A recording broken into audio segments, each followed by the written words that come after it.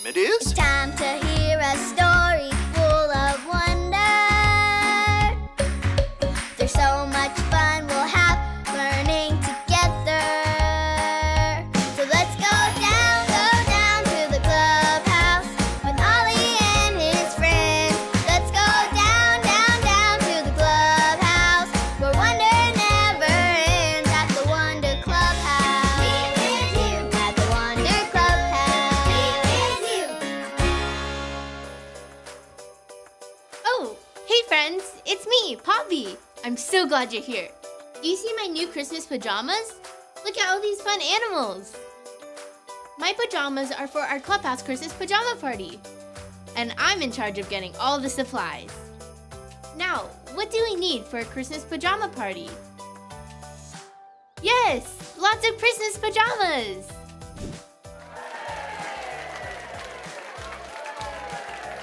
And party horns! Oh, and we'll want some music so we can sing and dance. This is going to be such a great party. Hoo, hoo. It's Ollie. Hello, Poppy. Hoo, hoo. I can see that you're making a list. Is there a party that I have missed? Not yet, Ollie. We're getting ready for a Christmas pajama party. I'm in charge of getting all the party supplies. Christmas is a special day. It's true. And I have a story about why just for you. Listen to this story. Just follow me through. Hoo,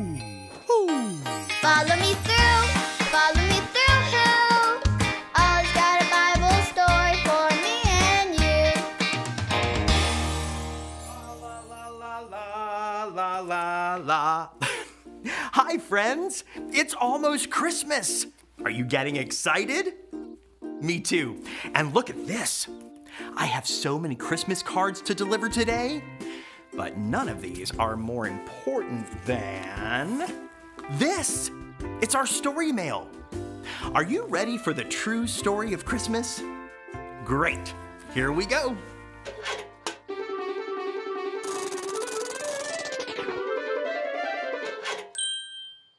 Okay, so the true story of Christmas began when an angel told Mary she was going to have a special baby named Jesus. And that baby was going to be super special because, drumroll please, Jesus was God's son. That's right. God loves us so much that he gave us his son, Jesus. Today's story is about when Jesus was born. Look, it's Mary and Joseph. What is Mary riding on? Do you know what that animal is? A donkey, you're right. What does a donkey say? Hee haw, hee haw, hee haw. Great job. Mary and Joseph needed an animal like a donkey to get to the town of Bethlehem. When they got to Bethlehem, they needed to find a place to stay. So Joseph knocked on a door to see if they had a room. Everybody knock with me. Ready? Knock, knock, knock. The man said there was no room for them, but they could stay in the stable out back. So Mary and Joseph went to sleep in a stable where all the animals stayed. Listen, what animals do you hear? A horse, that's right. What's this one? A chicken, that's right. What's this one? A sheep, that's right. What about this one? It's a baby. Jesus was born. Everyone say, Happy birthday, Jesus. Happy birthday, Jesus. Mary wrapped baby Jesus up and put him in a manger. Wow, the most special baby in all the world had been born.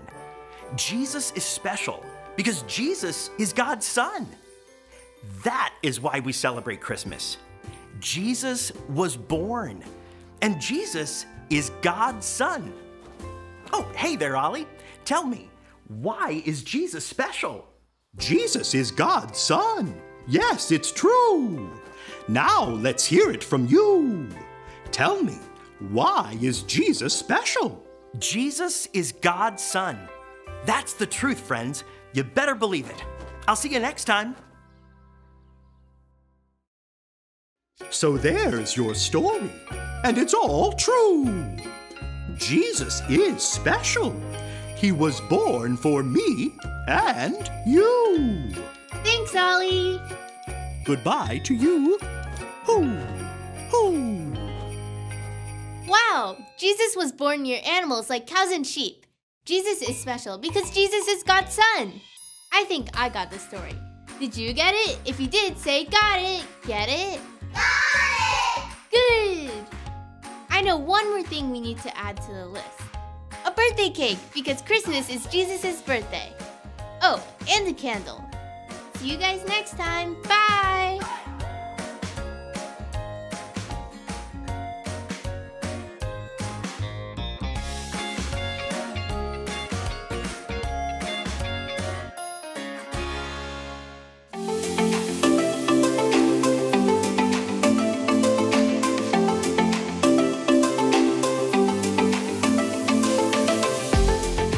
God loved the world so much that he gave his only son. John 3:16. God loved the world so much that he gave his only son. John 3:16.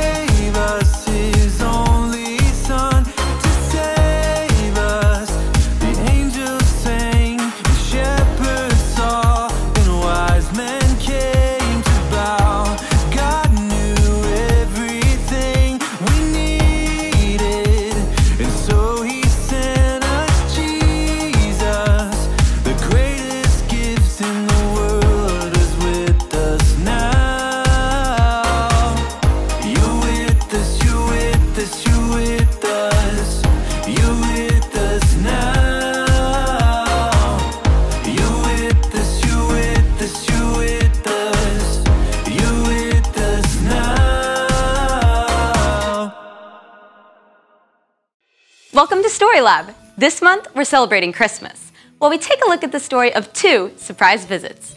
Oh, and we're also gonna be doing this.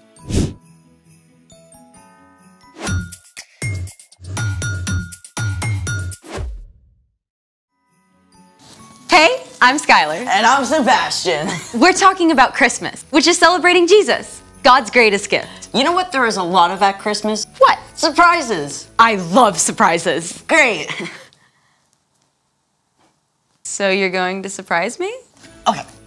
Have you ever watched A Christmas Carol? Yes, well, there's the Scrooge. Every fool who goes around with a Merry Christmas on his lips should be boiled in his own pudding and buried with a stake of holly. through his heart. And he's visited by three spirits that help him understand the true meaning of Christmas. So you are going to get three surprise visits. By what or who? Just be patient. Now, you know what happens in your body when you get startled? Here, look at my hand. Is it shaking? Nope. So why? Now you're shaking. yeah, I wasn't expecting a six foot polar bear thing. Exactly. You got startled. When you're startled, a part of your brain called the hypothalamus is triggered. The hypothalamus sends signals to the adrenal gland, and your whole system floods with adrenaline, causing your heart to pump blood more forcefully to your muscles. My heart is definitely pounding. But you don't actually need to run for your life. Yeah, he's he's kind of cute. Just cuter over here. Right, so your parasympathetic nervous system has kicked in and stopped the adrenaline and lower your heart rate back to normal. Just in time for another visitor. I'm not going to tell you. Okay, we can't do this all day. There is nothing that you can do that's gonna. Whoa! That is strong. What is that? Your next surprise visitor, Yes, but what is it? Limburger cheese, one of the stinkiest foods in the world. It smells like feet. It's fermented with the same bacteria that makes your feet smell. Blah. I'm ready for an unsurprised visitor. It's time for. The story before the story. Today, we're in the third book of the New Testament, Luke. But before Luke, in the very beginning, out of love, God made an amazing world. But when people turned away from God, the world was broken. God made a plan to bless the whole world through Abraham's family, the Israelites. But over and over, God's people would run to God and then pull away, just like a yo yo. Then, foreign nations invaded and captured the Israelites. They must have wondered if God still loved them and had a plan for them. While they were captive, God spoke through prophets about the great rescuer God would send. But then, for hundreds of years, silence. Not a single recorded word from God. Which is where our story starts. Take it away. Hey everyone! So, we have made the leap from the stories of the Jewish people we find in the Old Testament in our Bibles to the stories of Jesus and the church we find in the New Testament.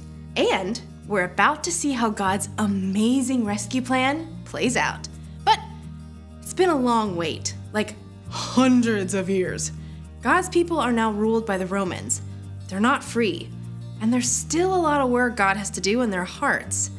There was a priest named Zechariah. He and his wife, Elizabeth, faithfully served God, but they had no children. Zechariah and Elizabeth had prayed over and over and over to have a baby, but they believed they were past the age it could ever happen. Then, one day, Zechariah was chosen to enter the temple and burn incense before God while his group of priests was serving. This was an amazing opportunity for Zechariah. As Zechariah stood before the altar, a glorious angel from God appeared before him. Zechariah was totally blown away, but the angel told him, Do not be afraid, Zechariah. Your prayer has been heard. Your wife Elizabeth will have a child. You must call him John. He will be a joy and delight to you. He will be filled with the Holy Spirit before he's even born and bring back many people to God. He will prepare the way for the Lord.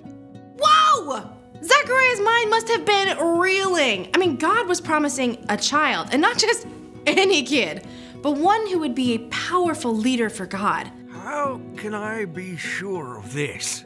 I'm an old man, and my wife is old too. I am Gabriel. I serve God. I have been sent to tell you this good news. And now you will be silent until after John is born, because you did not believe my words. Ouch! Zechariah didn't have anything to say to this because he couldn't. God had taken away his ability to speak. When he left the temple, the other priests tried to find out why Zechariah had been in there so long, but he could only tell them in gestures, like charades. It must have been a double shock for Elizabeth when Zechariah got home. Not only was he unable to speak, but he had a pretty unbelievable story to share. She must have been overjoyed, though, when God's words came true and she became pregnant. The Lord, the Lord has been kind to me. He has taken away my shame among the people. Now, Elizabeth and Zechariah's story wasn't over, but we need to take a quick detour because several days' journey away in the town of Nazareth, Elizabeth's cousin Mary was about to receive some amazing news too. Mary was just an ordinary girl living in an ordinary small town. But even though her life seemed perfectly ordinary, her heart was not. Mary loved and worshiped God with everything she had. And one morning, a glorious messenger from God appeared to Mary. Greetings. The Lord has blessed you in a special way. Mary was completely shocked. Obviously. I. I don't understand what you're telling me. Do not be afraid, Mary. God is very pleased with you. You will become pregnant and give birth to a son. You must call him Jesus. He will be great and will be called the Son of the Most High God. The Lord God will make him a king, and he will rule forever over his people. How can this happen? The Holy Spirit will make it happen. In fact, your relative Elizabeth is going to have a baby, even though she's old and people thought she could not have children. That's because what God says will always come true. I serve the Lord. May it happen to me just as you said it would. Mary must have had so many questions, but she chose to trust God. She wanted to see for herself how God was working. So she took a trip to see her cousin Elizabeth. It would have taken days of hard travel, but at last she arrived in the hill country of Judea where Zechariah and Elizabeth lived. Elizabeth, it's so good to see you. God has blessed you more than any other women, and blessed is the child you will have. But why is God so kind to me? Why has the mother of my Lord come to me? Wha- How, how did you know? As soon as I heard the sound of your voice, the baby inside me jumped for joy. You are a woman God has blessed. You believed that the Lord would keep his promises to you. Mary stayed with Elizabeth several months. During that time, the joy in her heart overflowed. My soul gives glory to the Lord. My spirit delights in God, my Savior. He's taken note of me even though I'm not considered important. And after three months, Mary went home. Soon after that, it was time for Elizabeth to have her baby! All of Zachariah and Elizabeth's relatives turned up to celebrate. Oh, hi there, little Zachariah. No, he must be called John. Oh, but no one else in the family has that name.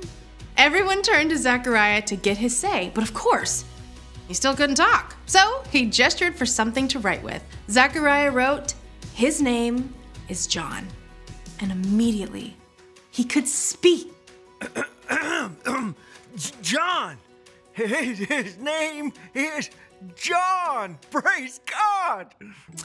Everyone was filled with amazement, and the news spread throughout the whole region as they asked, What is this child going to be? The end. Or at least, to be continued. Can you imagine if an angel showed up right here? That would trigger some adrenaline for sure. Or imagine being Mary or Elizabeth. Mary thought it was impossible for her to have a baby, and Elizabeth thought it was impossible for her because of her age. But anything is possible with God. So, what's our part in the story? Well, we all have things in our lives that seem pretty impossible. Maybe your mom and dad really want to do a family hike up a tall mountain, and you feel like there's no way you can make it. Or maybe your best friend moved away and you won't get to see her until next summer, and it feels totally impossible to wait.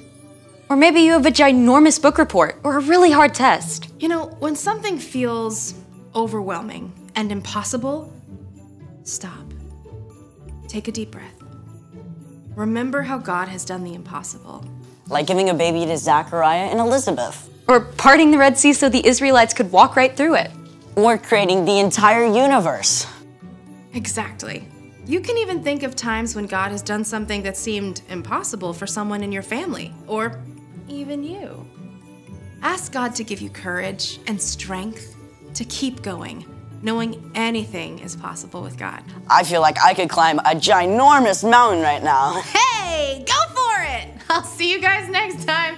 Bye, Erica. So here's the thing anything is possible with God. Yep, even this.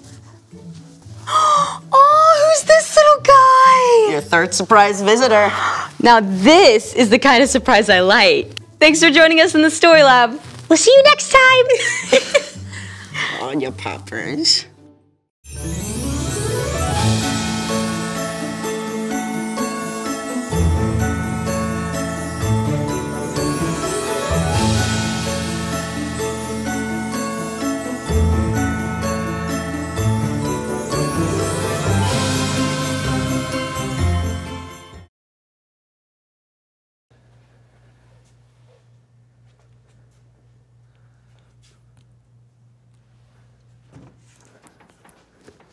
Whoa! What is this? Uh, I was hoping you could tell me. Uh, no. Well, I was waiting for you before I opened it. Why? Just in case. Uh, In case. just in case there's a bear inside. You think there's a bear inside? Well, I don't not think there's a bear inside. So. Well, only one way to find out.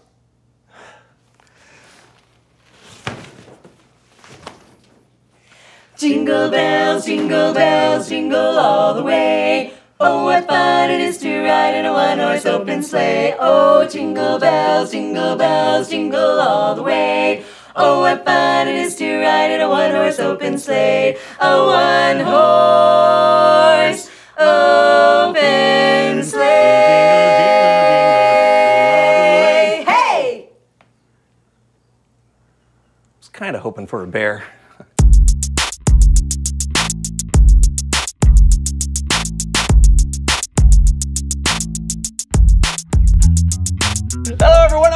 And I'm Brandon. And this is the So and So Show. And today. Hey, a spider! Ah! Oh. No, sorry, it's just a ball of hair. All right.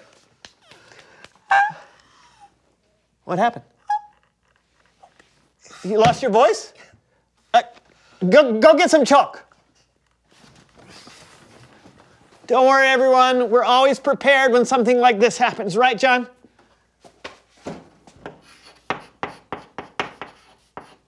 Yes, you are right.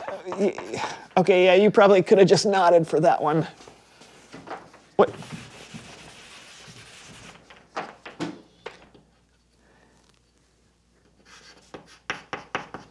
Yes.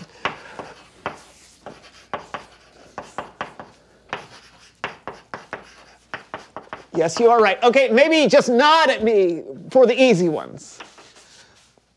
Okay? All right, so what are we gonna do now? John's lost his voice and I have to continue to the, do the show without him. Uh, maybe play a game? Uh, one that's uh, like thematic, but also uh, it fits with your specific malady? Uh, like, um, what can we do? What can we do? Oh, oh, oh, you got an idea? What, what, okay. You're gonna write it down? Okay, great, great. Boy, this is gonna be good. What have you got? Looks like we're playing Christmas Carol charades. Christmas Carol charades. So here's how it's gonna work. John will pick the name of a Christmas carol from this hat. Uh, then he'll have to use everything except his voice to try and get me to guess it. You guys can play at home. You ready, John? All right, here we go.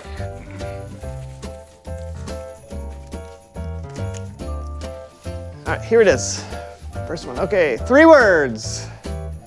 First word is a, a small word. Uh, and no, it's a little word. It's a little, big. Little, little, little's the word. Okay, little. Second word, little Little drum, drummer, drum, little drummer boy. Yeah. To lay before the king,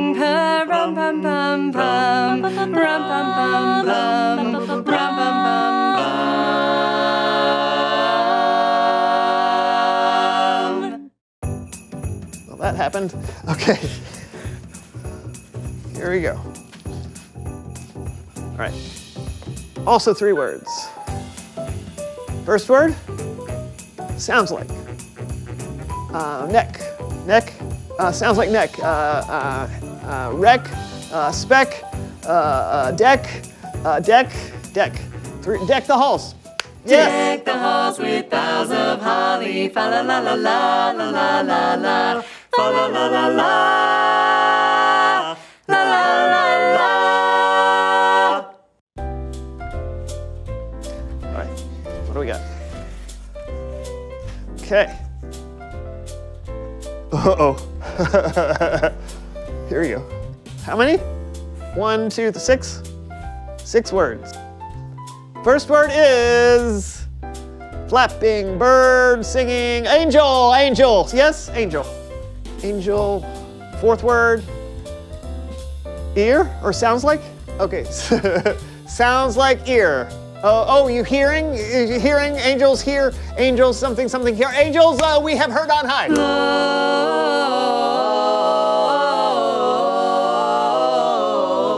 Gloria in excelsis Deo.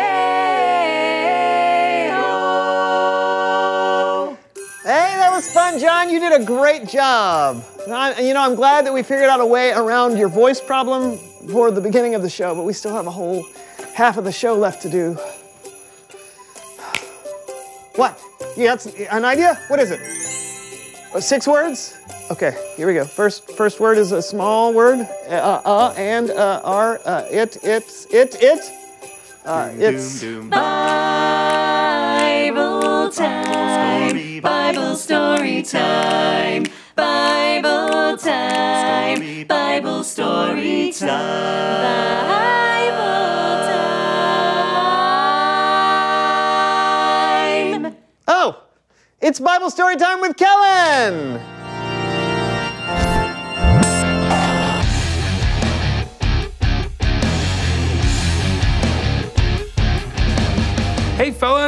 How are things? Uh, we're mostly fine, but uh, John has lost his voice. Oh, I'm so sorry. Uh, what are we talking about today, Kellen? Well, we're talking about a pair of very important cousins, Elizabeth and Mary. Let's start with Elizabeth. Now, Elizabeth's husband, Zechariah, well, he was a priest and they both faithfully followed God. They wanted children, but they didn't have any. And then one day, what is this?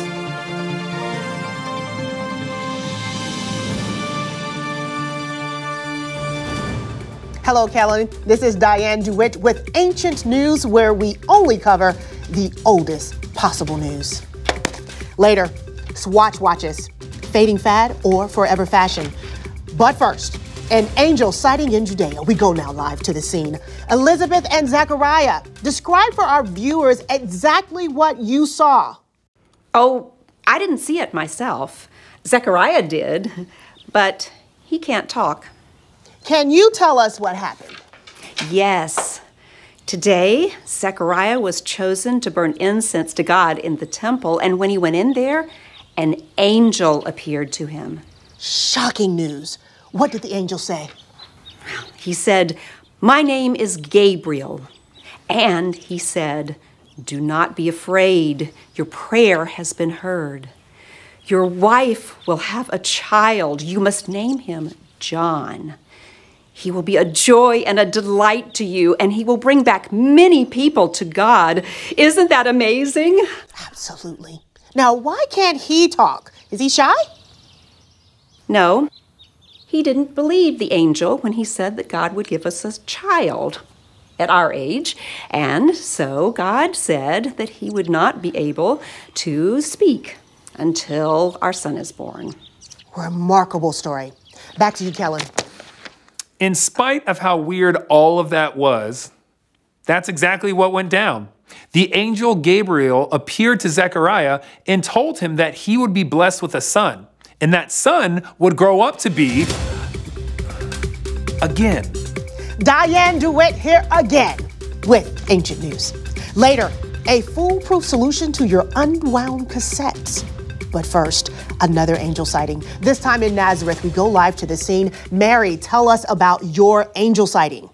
Well, he said that the Lord was blessing me in a very special way, which was wonderful, but so surprising. I'm no one special. I just love the Lord with all my heart. Incredible. Was there more? Oh, yes. He said that I would get pregnant soon with a son. Was this angel by any chance named Gabriel? Yes. How did you know? I'm an exceptional reporter. Please continue. Well, he told me I must call my baby Jesus and that he would be the Son of God, that the Holy Spirit would make this happen. And did he offer any evidence for his claim? Well, he told me my cousin Elizabeth is going to have a baby, even though she's old. Actually, I think we've got Elizabeth. Elizabeth, are you there? Mary, can you hear me? Yes, I can. You're pregnant? This is incredible. Oh, just talking to you, I felt the baby jump inside me.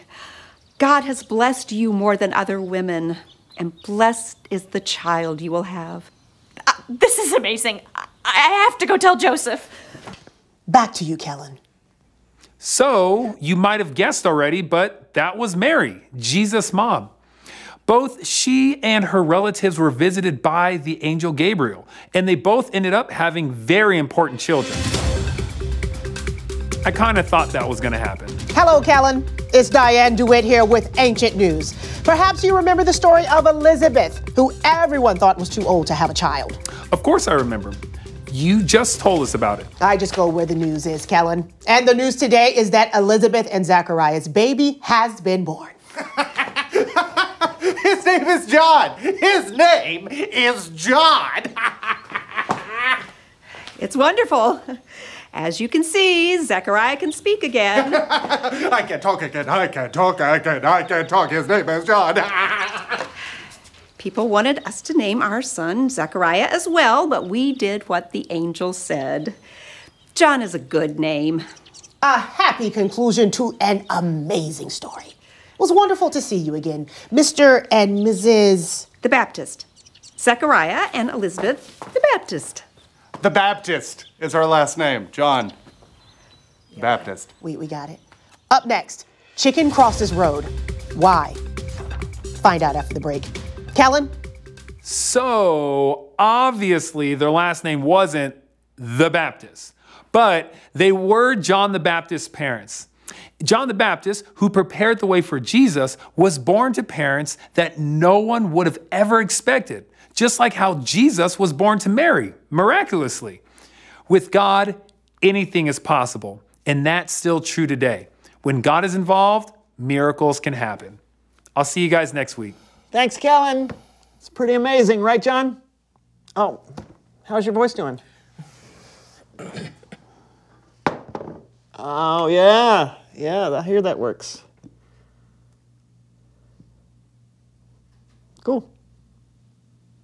That's a, that's a lot of honey.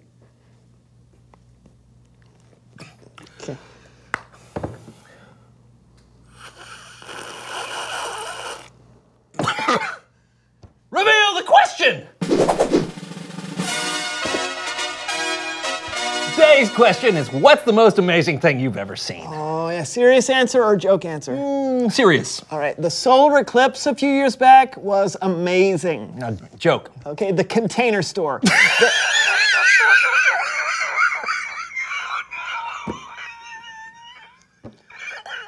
yeah, there really is something to put everything in at the container store. It's it's pretty. What about you? Oh, I went to the Grand Canyon when I was a kid and was absolutely blown away by it. I mean, I know it's just a big hole in the ground, but still, it's very grand. I'm glad your voice is back. You know, I miss our back and forth. Until next time, I'm Brandon. And I'm John. And this was the So and So Show.